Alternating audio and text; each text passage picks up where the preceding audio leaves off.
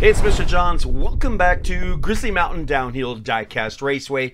This is our first race of Series 8 here. Our drivers, all returning, include Batman, Braxton Jensen driving Street Shaker. We also see Elias Hargret coming back with his Roadster Bite. And Levi Grimes, Track Ripper. These are all drivers, except for Batman, who think they should have won before because their cars were so fast. So let's see how they do head to head at the top of Grizzly Mountain. And they are off.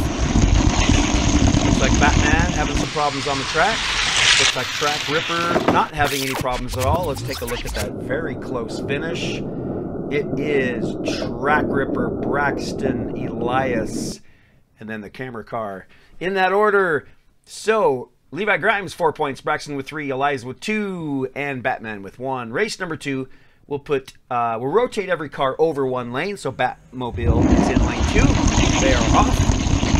Looks like Braxton out front, but then something happens, and Elias, uh, Track Ripper, I mean, just punches it and takes the finish and the win. So Levi Grimes, eight points. Braxton with three. Oliver comes up a position with three points. And we will go again. This time, Camera Car and Braxton having problems. Another very close finish.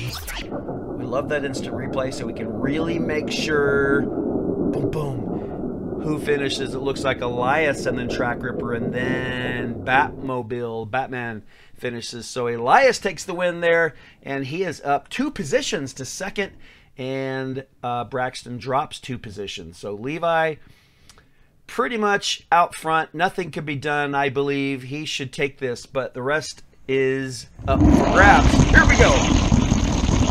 This time, Braxton way out in front. Something happened to Levi back there, and Braxton takes that win and the four points. So we end up with Levi 13 points, Elias with nine. Braxton comes up to third place with seven, and Batman, Batmobile, Oliver McCormick in fourth place. So I will catch you next time in race number two. For now, Mr. Johns is out.